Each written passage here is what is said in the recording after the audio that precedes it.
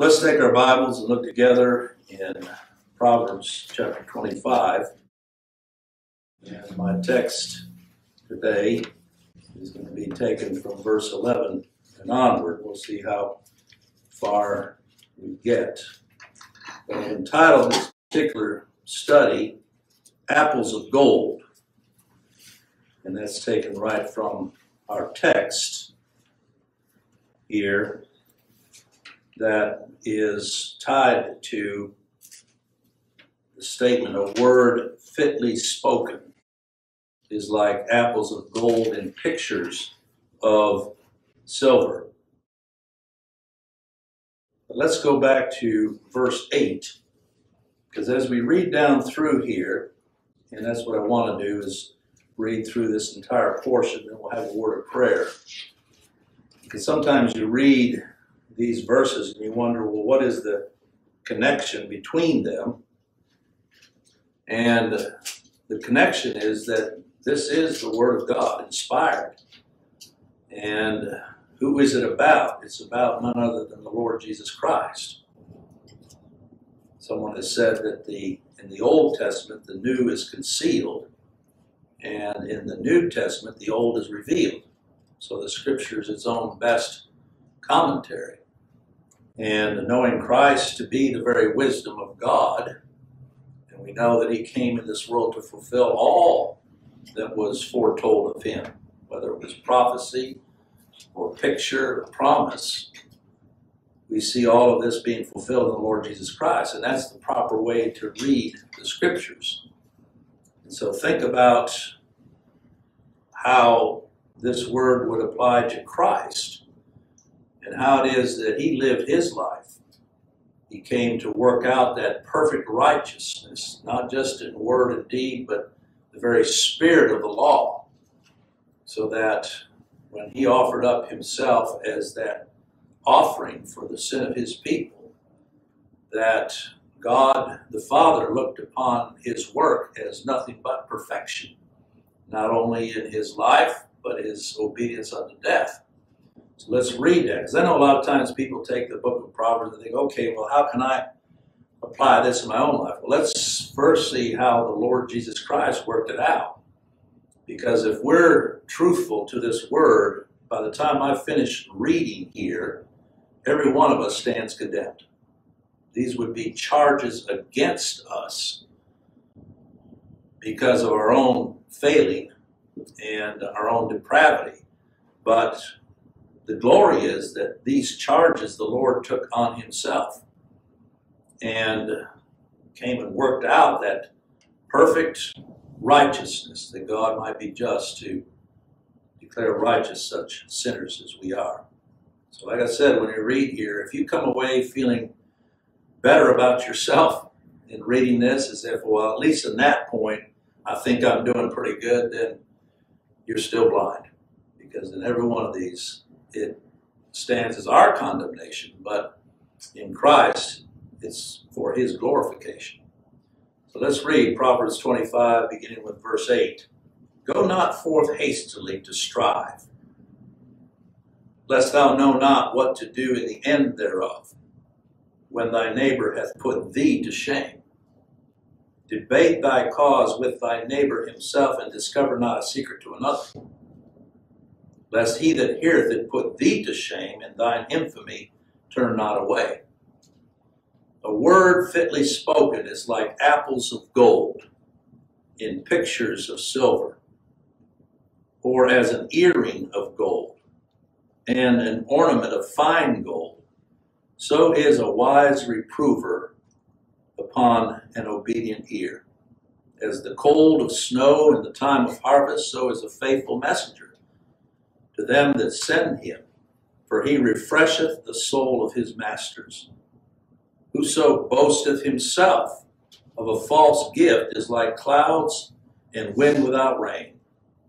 By long forbearing is a prince persuaded, and a soft tongue breaketh the bone. Hast thou found honey? Eat so much as is sufficient for thee, lest thou be filled therewith and vomit it.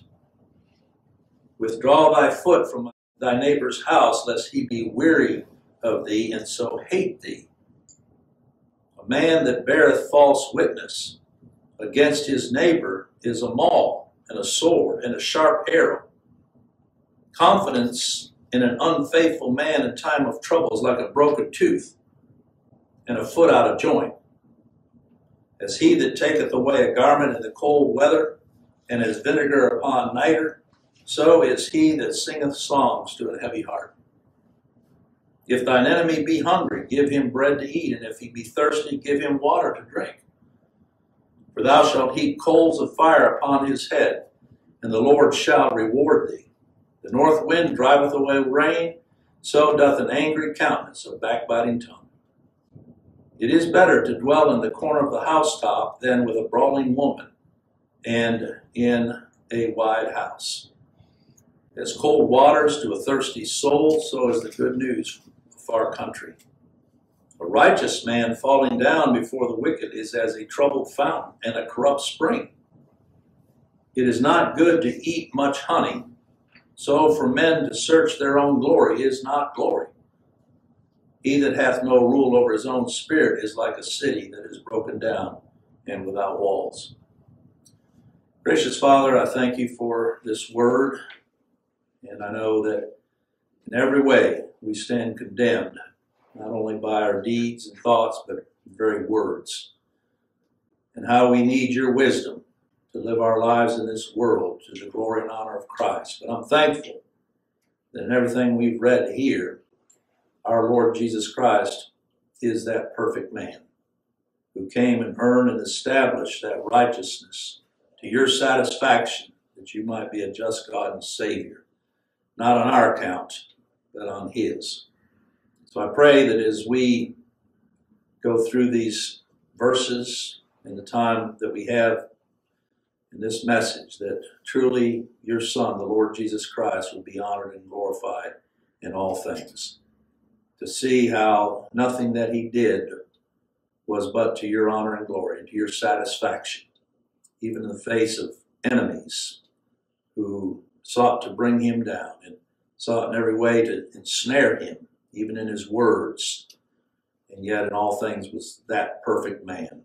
And I'm thankful because that's what's required of him as the substitute, as the one who represents those sinners that you purpose to save. And so may our eyes be open to him, and may he receive all the honor and glory for which we give you the praise. In our dear Savior's name, amen.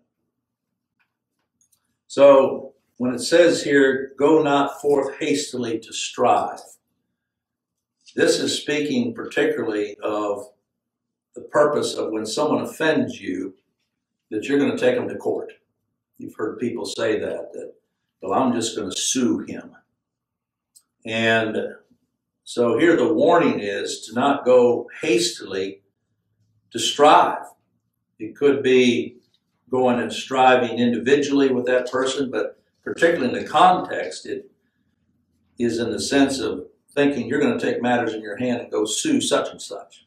That's a, a common thing today. I'm going to get my lawyer and I'm going to sue that one. Because it says here, lest thou know not what to do in the end thereof. When all this is brought to light, it may be that you're the one that ends up being the cause and that the judge finds you guilty rather than the one that you're pursuing. And so, in that case, when thy neighbor hath put thee to shame. Here's the one thing, and you think even in terms of our Lord Jesus Christ, he endured the contradiction of sinners against himself. He never took any matter against him to the human courts and sought human judges in order to resolve his case. This is why he came into the world, was that he might bear the reproaches of those that reproached him. To the point where Peter writes about this in his epistle and says, When he was reviled, he reviled not again. He opened not his mouth, but commended himself to him that judges righteously or judges rightly. And so we see in our Lord Jesus Christ a perfect example of this. That when those brought charges against him, he did not seek the human courts in order to resolve this matter, but commended himself to his Father who judges righteously, because that's why he came. The scriptures say he was, even to his death, he was as a lamb led to the slaughter who opened not his mouth. And that was necessary that he be that one that satisfy God's law and justice on behalf of those that he came to represent. And so it says there in verse 9, debate thy cause with thy neighbor himself. I find this to be exactly how our Lord Jesus Christ dealt with the contradiction of sinners against himself.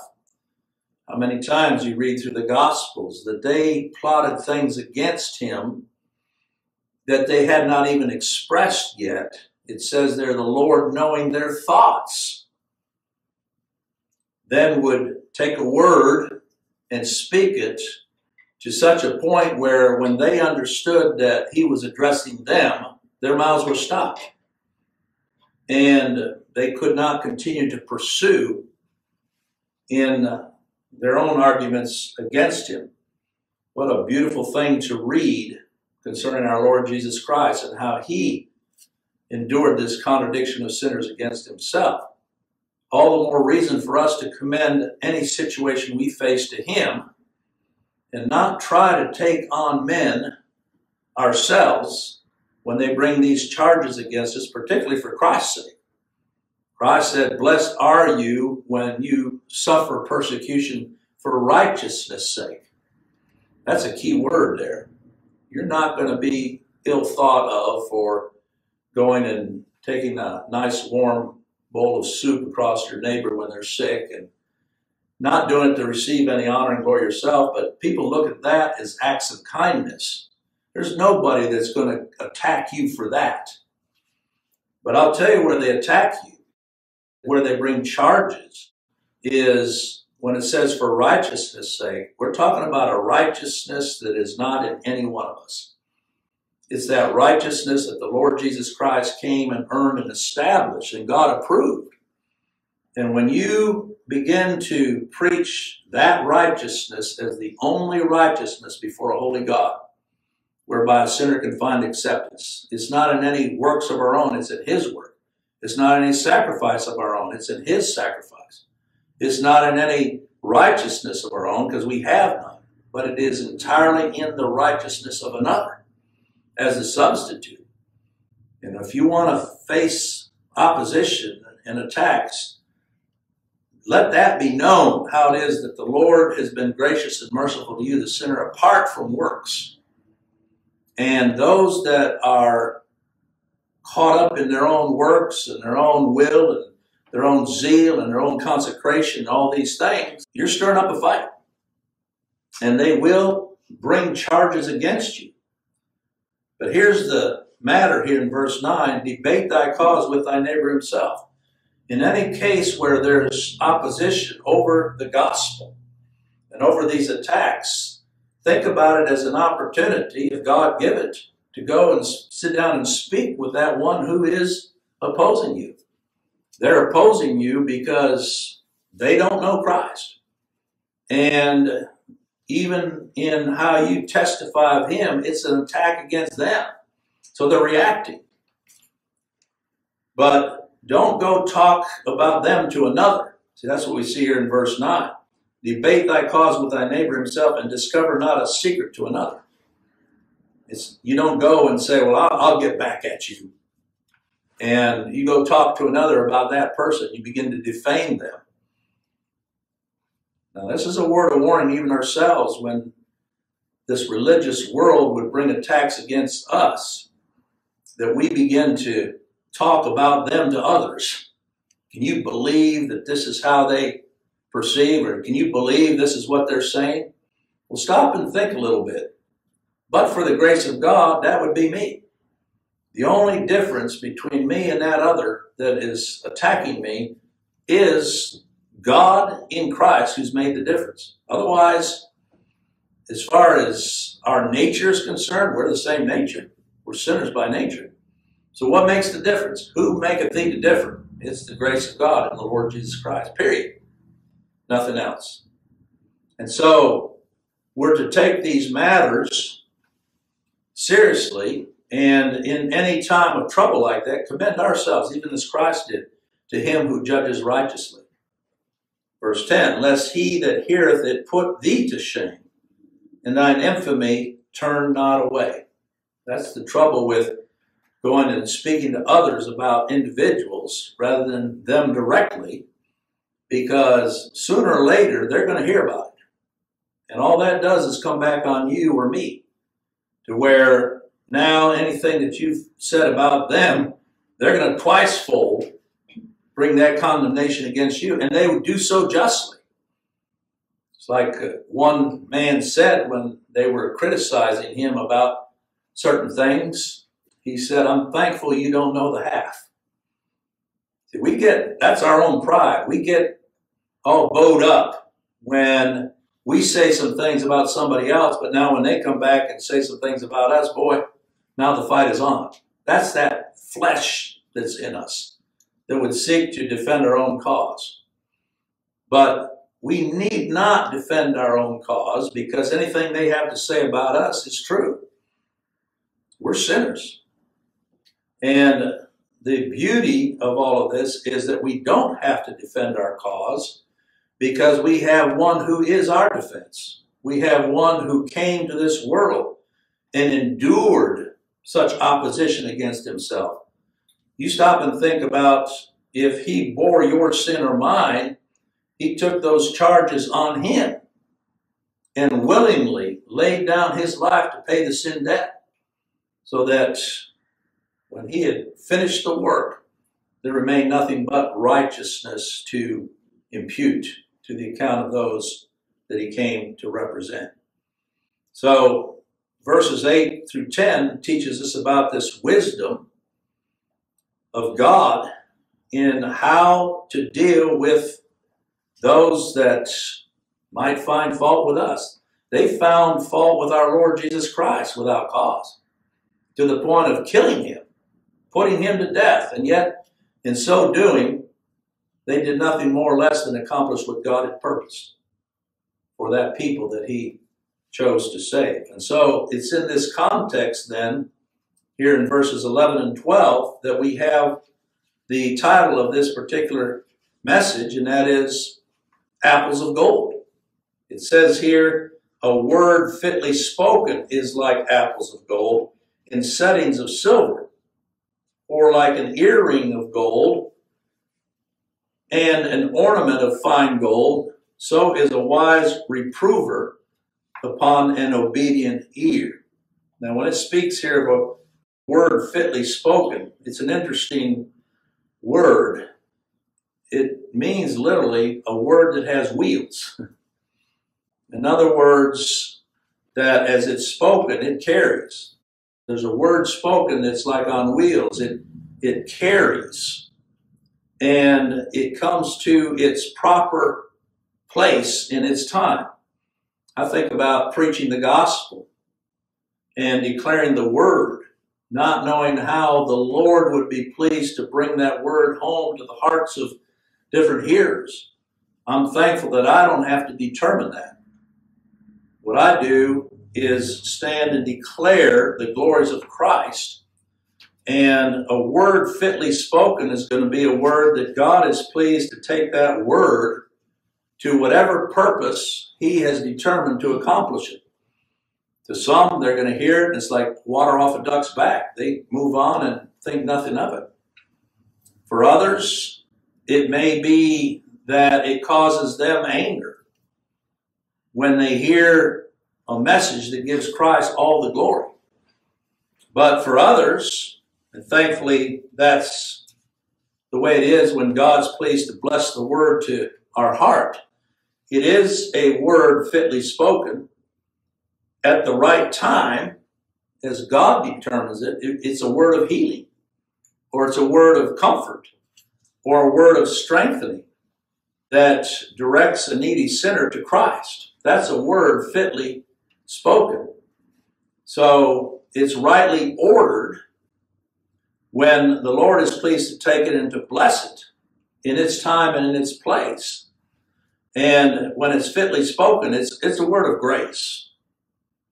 And we don't determine that, but the Lord does. It's as if, and I want us to go back here and look in Isaiah chapter 15, verse 4.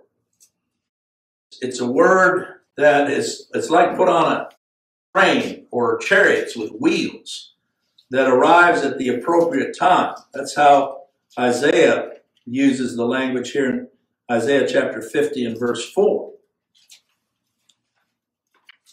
It says, The Lord God hath given me the tongue of the learned. Now, this is not speaking necessarily of Isaiah here, but these would be the words of the Lord Jesus Christ. When even his enemies sought to go take him and, and bring him to the Pharisees, and those that the Pharisees sent came back empty handed, and they said, Well, where is he? What did they say? Never a man has spoken as this man. Just the very words of Christ, fitly spoken in his time, accomplished his purpose. I think about even when they came to seek him in the garden, and they had their staves and their swords armored as they were. And the Lord asked him, Well, who do you seek? And they said, Jesus of Nazareth. And he said, The way it's translated here in our Bibles is, I am he, but he is in italic. He just simply said, I am. And what happened? They fell backward. Such was the power of that word to let them know that they could do nothing to him or take anything from him but what it was ordained of his Father. Because he is the I am. And so, here with this scripture, speaking of the Lord Jesus Christ, the Lord God hath given me the tongue of the learned that I should know how to speak a word in season to him that is weary. He wakeneth morning by morning, he wakeneth mine ear to hear as the learned. In other words, speaking of Christ here, he had always his Father's ear. He never spoke a word out of turn or out of reaction to what men were doing to him. His ear was open unto his Father. And so that's what it says in verse 5 even to the point of giving his back to the smiters. Verse 5 says, The Lord God hath opened mine ear. I was not rebellious, neither turned away back. I gave my back to the smiters and my cheeks to them that plucked off the hair. I hid not my face from shame and spitting. So again, we have here the example of the Lord Jesus Christ. Were our salvation dependent upon how we reacted or not. None of us could be saved. But our salvation is in the perfect work of the Lord Jesus Christ, having fulfilled the law and endured this contradiction against himself to the glory of God for the salvation of that people that he came to save. And so you can see how this relates coming back here to Proverbs chapter 24 when it speaks there as an earring of gold and an ornament of fine gold, so is a wise reprover upon an obedient ear. See how the scriptures are connected here? This is speaking of him as being that obedient servant. That no matter how much the contradiction of sinners that he endured, yet he was ever obedient to his Father. Never spoke a word out of turn we're such that even if for a while we might endure the offenses of others against ourselves, they keep poking sooner or later. This old flesh is going to react. And we might seem to be the most peaceable among men with regard to others, but sooner or later, they're going to poke and pick and stab to such a degree where we're going to react. Our Lord never reacted. That's an amazing thing. If you want that alone as a study to go read through the Gospels and see how he was that obedient servant unto his Father, on whose shoulders the government lay. In other words, the whole of salvation was laid upon him. And one false step would have been enough to undo the whole matter. I know some say, well, he was God in the flesh, so he could not have ever taken a false step. And yet, as a son, the scriptures say there in Hebrews 5, yet learned he obedience. This had to be worked out in the flesh by a perfect man in order for that righteousness to be accepted before the Father. And so, when we read the words of Christ, every word was fitly spoken. Fit to, see, this is where we don't have all knowledge. I don't. I dare not try to take a word and apply it to anybody here because I don't know how the Lord's going to use it. Mine is to simply stand and declare Christ and his great work of righteousness that he worked out. And the Spirit of God will make that word to be fitly spoken. A word of comfort to those that God has purpose should hear. All others will be hardened. There's a message that's the savor of life unto life, and the same message is the savor of death unto death. It's God that determines these things. But to think about this word fitly spoken, and here it's described as gold in pictures of silver. Some sit there and say, well, is this talking about true apples that have that color of gold that's set in a fine silver basket so that when people walk by and see it, their desire is to take and to eat it?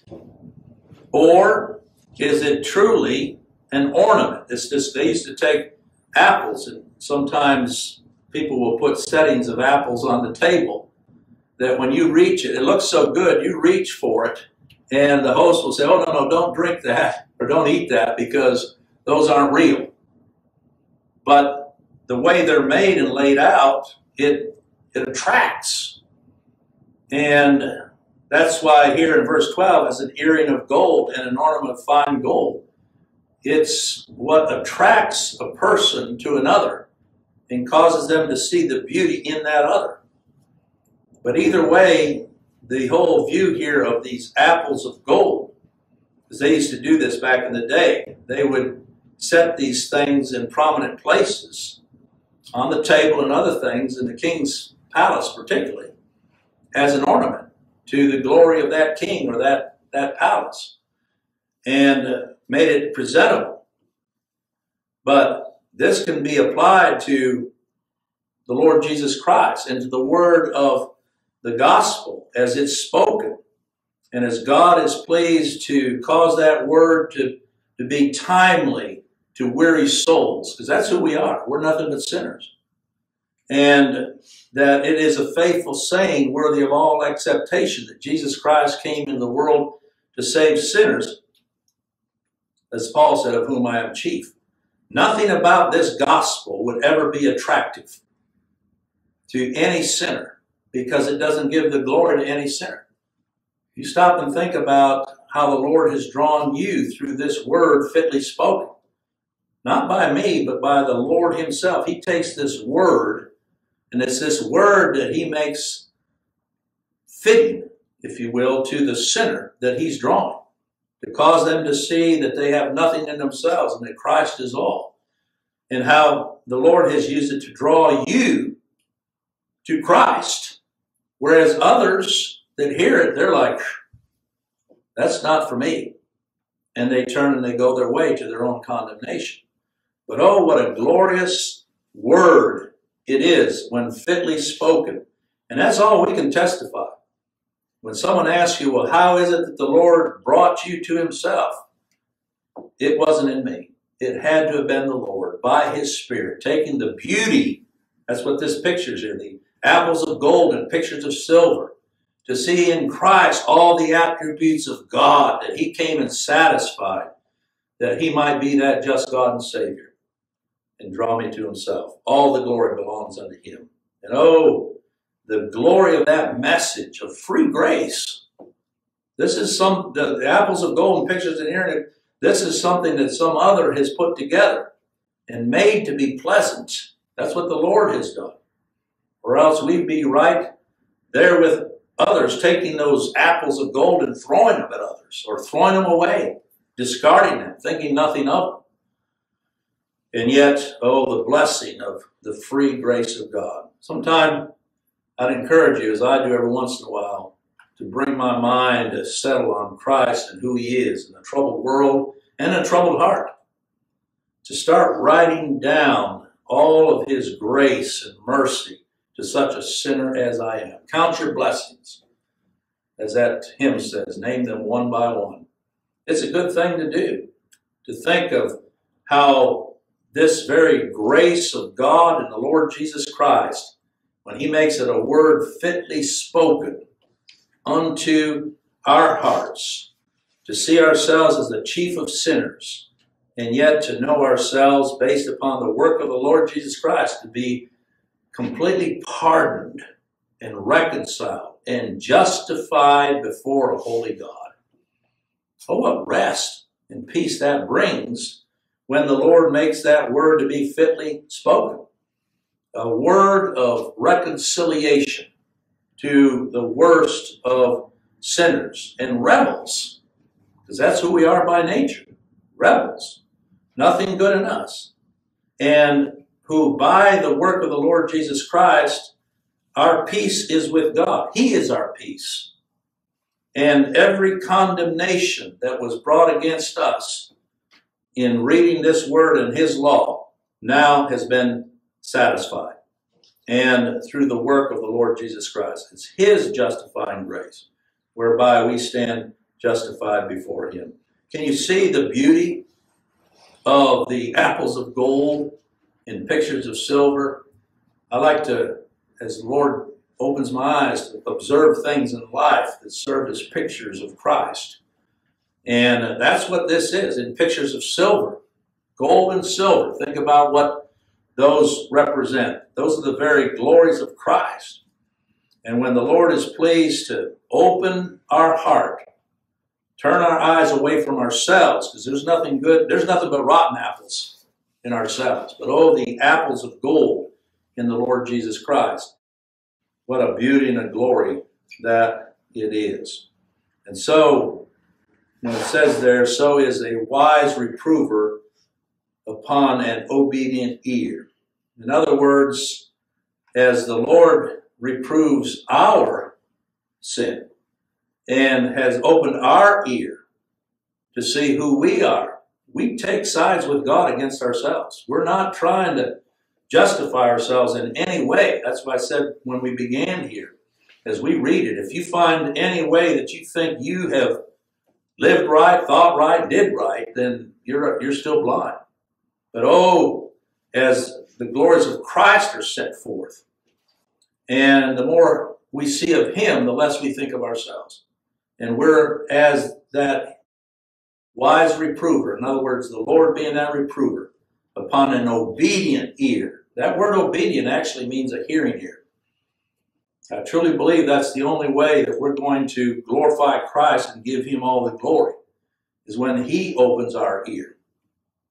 And he causes us to believe God and uh, to agree with God because by nature we're rebels, but to agree with God in every instance, in every every way, when he brings reproof, and that's why Paul wrote to Timothy that the scriptures are inspired, they're God breathed, and are given for our reproof and our instruction in righteousness, our correction. But that's only by the grace of God. Because there are many that will read this and say, okay, I know I've messed up, but I'm going to start today and I'm going to start making things right. Well, at the end of the day, go back and ask yourself, how did you even do throughout that day? You'd have to say, I failed miserably. Our resolutions are nothing. That's why we need the Savior, and that's why we need Him to represent us before God the Father. Well, I'm going to stop there because verse 13 on, there's some more matters in there I don't want to quickly run through. But I pray that what we've heard already be blessed of the Lord, that He give us that hearing ear and that heart to hear Him. For I said, My sheep hear my voice and they follow me. And uh, He's worthy. He's worthy as our substitute and our Savior and our Redeemer. All right.